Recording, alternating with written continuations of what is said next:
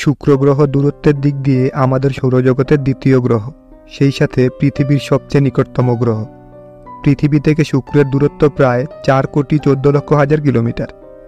শুক্র গ্রহ সম্পর্কে বেশ কিছু অবাক করা তথ্য নিয়ে রকমারি ইনফোবিডির আজকের পর্ব। আপনি যদি আমাদের চ্যানেলে নতুন দর্শক হয়ে থাকেন, তাহলে অবশ্যই চ্যানেলটি সাবস্ক্রাইব করে বেল আইকনটি অন করতে ভুলবেন না। সূর্য ও পৃথিবীর মধ্যবর্তী অঞ্চলে এই গ্রহের অবস্থানের কারণে একে ইনফিরিয়র প্ল্যানেট বলা হয়।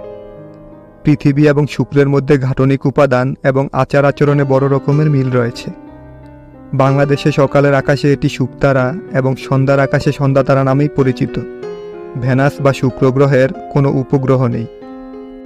পৃথিবী থেকে রাতের মহাকাশীয় বস্তুদের মধ্যে উজ্জ্বলতায় এর অবস্থান দ্বিতীয়। অর্থাৎ চাঁদকে বাদ দিলে এটি রাতের আকাশের সবচেয়ে উজ্জ্বল বস্তু। এর কক্ষপথ পৃথিবী থেকে ভেতরের দিকে হওয়ায় একে কখনোই সারা রাত ধরে দেখা যায় না।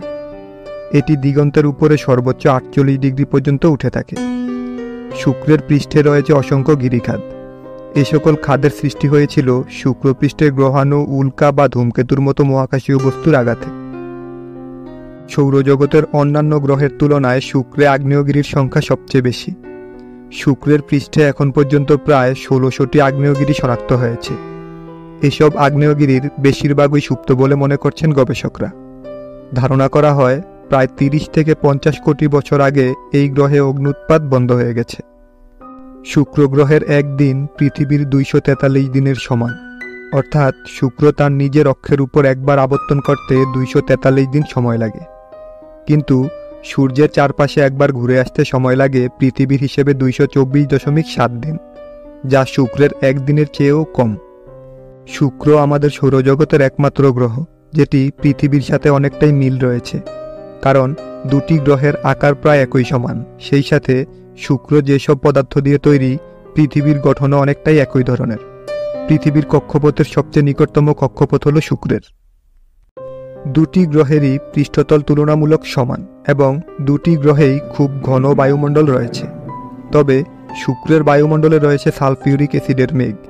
এই মেঘ থেকে সালফিউরিক অ্যাসিডের বৃষ্টি হয়, তবে তা মাটিতে পড়ার আগেই বাষ্প হয়ে উড়ে যায়।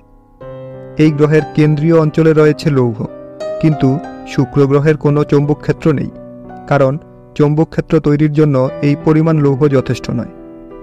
উনিশশো বাষট্টি খ্রিস্টাব্দে ম্যারিনার টু মহাকাশযান শুক্র গ্রহের কাছাকাছি গিয়েছিল।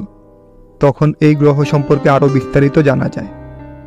উনিশশো সত্তর খ্রিস্টাব্দে সোভিয়েত ইউনিয়নের ভেনেরা সেভেন স্পেস যান সাফল্যের সাথে শুক্রপৃষ্ঠে অবতরণ করে। উনিশশো নব্বই থেকে উনিশশো চৌরানব্বই খ্রিস্টাব্দে নাসার ম্যাগিলান নবযান শুক্রের কক্ষপথে থেকে এর আটানব্বই ভাগ মানচিত্র তৈরি করে।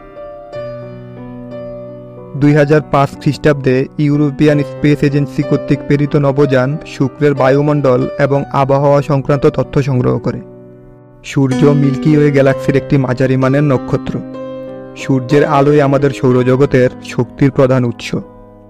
সূর্য কীভাবে আলো তৈরি করে, সূর্যের জ্বালানি কি, সূর্যের কেন্দ্রের তাপমাত্রা কত, এবং সূর্য থেকে পৃথিবীতে আলো আসার সময়কাল সহ বিস্তারিত জানতে এই ভিডিওটি দেখতে পারেন।